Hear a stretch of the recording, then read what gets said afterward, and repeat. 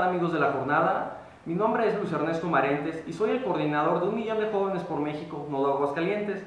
Antes de iniciar a compartirles el mensaje de nuestra organización, me gustaría agradecer a la jornada el espacio que nos brinda para poder compartirles este mensaje de manera semanal sobre los proyectos y actividades que vamos a estar realizando como grupo en nuestra ciudad.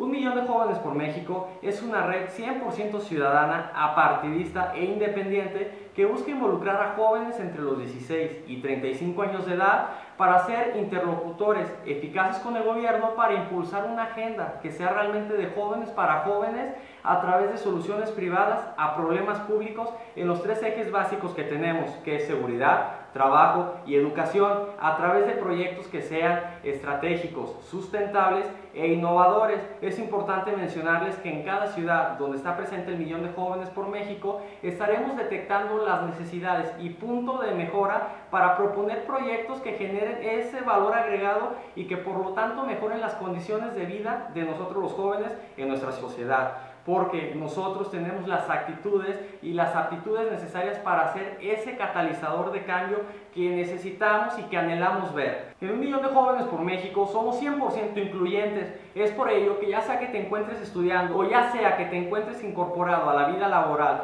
pero si tienes un proyecto, si tienes ideas que quisieras compartir y verlas aplicadas en nuestro entorno y que beneficien a nosotros los jóvenes, estás totalmente invitado a que te pongas en comunicación directa con nosotros. Podrás encontrar los datos directamente en este video. Es por ello que quiero invitar cordialmente a todos los jóvenes a que se sumen a un millón de jóvenes por México. Les recuerdo mi nombre, Luis Ernesto Marentes, y nos estaremos viendo la próxima semana para compartirles más acerca de un millón de jóvenes por México y los proyectos que vamos a estar implementando. Muchas gracias por su atención. Saludos.